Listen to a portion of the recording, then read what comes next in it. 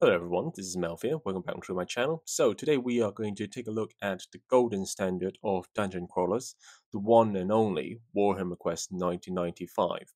But most of you have probably seen enough professionally painted or professionally crafted versions of Warhammer Quest before. So instead of doing that again, we are going to look at my budget and travel version of Warhammer Quest. And we're also going to talk about how you can also make one on the cheap. So let's go dive into it. So let's take a look and see what is in the box. So first of all, the most important thing are the cards. So you can see I have all the cards included or uh, required to play the base game included in the box over here. So these are self-printed cards, uh, but they are printed in the same size as the original cards. So uh, these are using the, uh, I've used the Little Monks recreated versions, which includes a few new uh, sets of cover cards as well as some special rules. Uh, these are very useful because, uh, for example, you can see we also have the objective room tables over here. Uh, then we have the main sets of dungeon cards. Uh, there are 23 of them. So these will include both the um, objective rooms as well as your uh, corridors and dungeon rooms as well. Apart from that, we also have all the event cards in the base game. So these are the 19 different event cards. They include the monster cards as well as the event cards. And last of all, uh, which is also the one of the main reasons why I decided to keep it as the original size, and that is the treasure cards. So uh, in the base game, there ain't too many of them. There are only 30 of them. Um, but this is, as I mentioned, the redesigned version from Little Monk, and he has basically added art for all the individual cards. So I do think they look pretty nice. And um, the reason I want to create these cards in the original size instead of scaling them down is because there is something nice about holding a, um, a full-sized treasure, in my opinion. Uh, instead of having like a tiny little card of treasure, I think it does feel nice to have like the full-size ones. So there we have it, all the um, cards so up next are the heroes and the monsters. Uh, as you can see, I have opted to use standees instead of miniatures because of the space limitations. Now these standees are created by Spiny Normans and they are great because you can see they are using the actual miniatures as the basis and they came in painted as well. So uh, we get the best of both worlds. You don't need to worry about miniatures and you also still get the same style as the original Warhammer Quest. And as you can see, I have all the monsters printed out as well, and they do fit into this little uh, bag over here. Now, you do have to do a little bit of uh, printing uh, editing. Uh, so what I've done is actually just print uh, the PDFs in 50%. Um, so, uh, and that will come with, with a similar size as this one. So with the standees, we also need the um, base. So I have used these clear base. These are just uh, 20 millimeters clear base and they work pretty well. Uh, now, one thing I do notice is that because these are for actual standees, so they kind of like, um, they don't actually fit too well. Uh, the cardboard that I've used for the standees a little bit too thin. So I have used uh, a little bit of the leftover from the tiles, uh, and what you can do is you actually, you can put it uh, as stack them together and when you put it in uh, it will work. Now obviously it blocks the view but I use it as this is the front and this is the back so it actually works as a multifunction as well. Apart from that I have also printed out some of these hero tokens. These are in the same size as the original ones. Um, similar to the cards these are from the uh, Little Monks PDF and these are mainly used for randomly determining a hero, uh, in this case, let's say, uh, who's getting rid of bashing from the miniatures, uh, sorry, from the minotaurs, and that will be the barbarians. So, up next, we have the most important thing, which is obviously the tiles and everything corridors related of the uh, Warhammer Quest. Uh, so first of all, let's take a look at the doors. These stores are created by the very talented Nick Thornton from the Dungeon Dive groups, and they come in very handy. Similar to the standees as well, you can just uh, put them in with this little slice over here, and um, you can basically use this as a dungeon door. Now these tiles themselves, they have used them as um, these are 15 millimeters uh, scaled ones. So found this wonderful PDF from Nico Lohmann in the Warhammer Quest Facebook group, who actually already previously scaled them down to 20 millimeters to 2 cms. And all I had to do is just um, further scale them as 75%, and there you are. So I've got all the uh, corridors uh, and also the dungeon rooms as well as some of these tokens for the secret doors, the caving, um, and so forth. And as you can see, we also have all the objective rooms as well, all five of them. Uh, what next? We do have some dice over here, as you can see. Uh, any d6 will do, so I've just decided to use one different colored one as the power dice for the wizard and the uh, event. Uh, apart from that, I have some other little dice over here. You can see these are really tiny little dice. They're not necessary for rolling, though you can do that. Um, for those of you who have the original Warhammer Quest, you would notice that there were the uh, little dice as well there. So this is even smaller than those, but these are mainly used to actually track the health points of the monsters. So you just need to put one next to it and say how many it has left. So apart from that, uh, I have these little leftovers I mentioned. These are actually cut from these doors, but you know, they work well as a additional support for the standees. And last in the box we have the four heroes and you can see these are as well in the same size as the original uh, again using the same PDF that I mentioned from uh, Little Monk together with the tokens and with their initial equipment cards. Now I have actually laminated them and I'll talk about why I do that in a bit. So that's pretty much everything in the box and we are ready to go into the gameplay to see how it goes. So before I go ahead with the gameplay, I want to talk about what I have not included in this box set. And for those of you who have played Warhammer Quest, you will notice that I did miss a few things. First of all, these are the tokens. So uh, there are the tokens included in the base game, which is the power tokens as well as these webbed tokens. And also, I also haven't included any character sheets as well. And that's where the laminated character sheets comes into place because uh, I've learned from the party of four games where you can actually use um, the uh, removable markers uh, is on the laminated uh, character sheets directly as the character sheets tracker. So, for example, if we need to decide the initial health of our characters, which in this game you just roll d6 plus the uh, values. So in this case, let's say the wizards has a d6 plus 6 and we can just write directly on this paper. Equally, for the power tokens, which is used only by the wizards to decide how much initial uh, power he has. Again, roll a d6, too far away, 5. So in this case, we can just write directly 5, and what is the current number? So it's 1 or 2 or 3, and we can just uh, remove it when, when needed. So very useful um, when it's laminated in this way. Now, equally for the webbed ones, these are just status. When your hero is getting webbed, uh, you can't move. Again, you can just um, use a symbol on your character to decide it is actually uh, webbed at the moment. So you don't have to actually additionally print out more tokens than needed.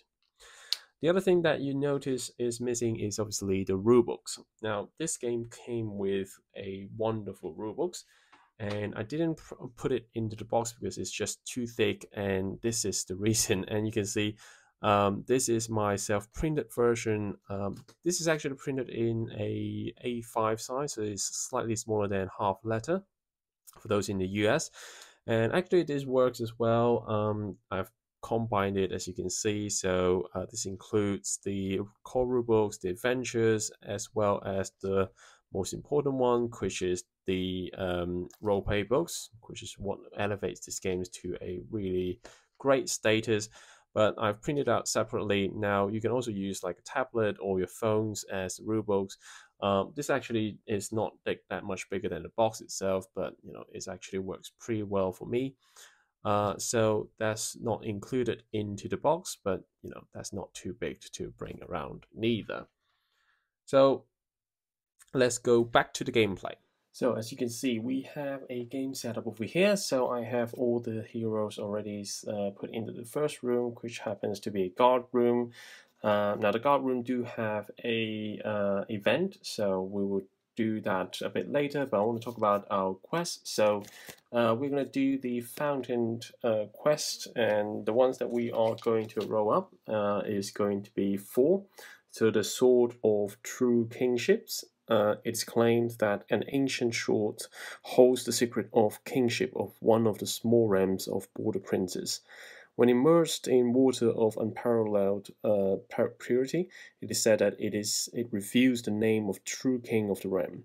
Unfortunately, no water save that of legendary fountain of light is pure enough to cause the sword to reveal the name and the four warriors must therefore take the sword and journey to the middle mountains to find the mountain. Once there, they can determine which of the three princes who claim the kinship, Spardin, Rudin, or Gredin, who is the uh, uh, rightful heir.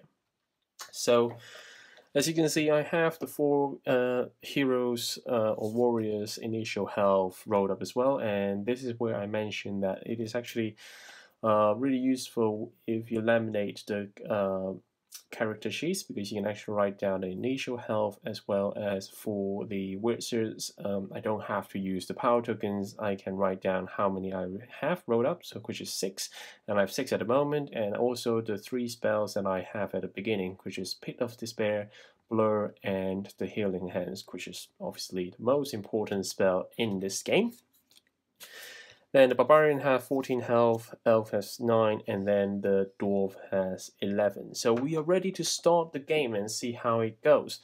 So the first thing first is obviously we need to draw the event card. Uh, and so you can see I have used uh, one of the, the cover to as the base to hold my cards as well. So we will just draw the uh, first one to see what we get, which is six Goblin Archers.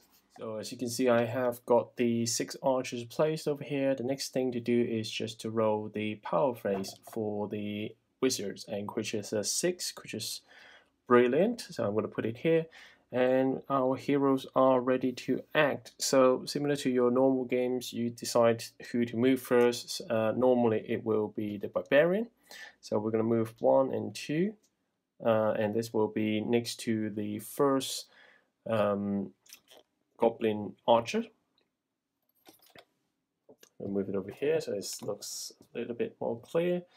And then we are ready to do an attack. So to play this game is really simple. You roll and see if you actually hit the enemy. And uh, to hit a Goblin Archer, you just need to roll 4 for the Barbarian. But first thing first, because the Barbarian has a Berserk rules, so if it rolls a 1, it will basically just fling his sword around and uh, miss everyone apart from his uh, comrades.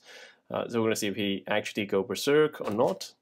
Because 4 is not, and then we can roll and see if it hits the goblin archers, which it did, and then we need to roll and see how much damage it hits. So the barbarian will do a um, d4 plus, uh, sorry, d6 plus 4 damages, which is going to be uh, a 1. Unfortunately, 1 plus 4 is 5.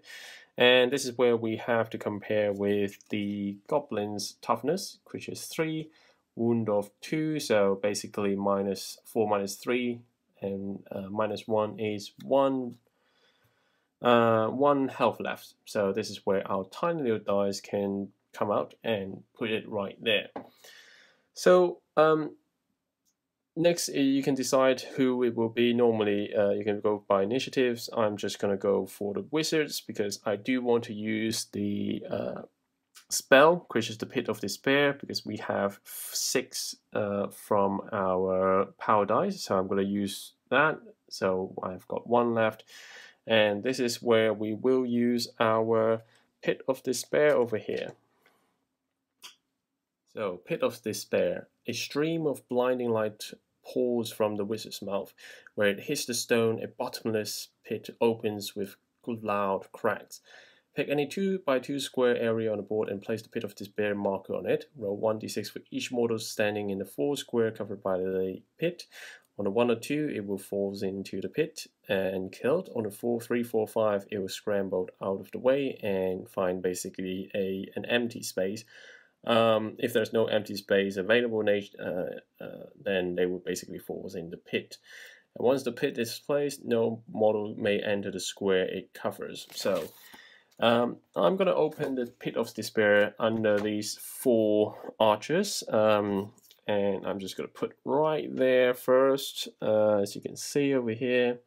And they will need to either uh, fall into the pit or they will um, find a way. So let's roll each of them. So the first one falls in the pit, second scrambled out, and the third one did scramble out. So one of it fell and I so I have decided to skip a few rounds because I want to talk about how this game actually generates dungeon. And you can see over here we are actually at a T-junction. So there are one way on the right and a way on the top. So in this game you actually use the dungeon dial cards uh, in a specific way to generate it.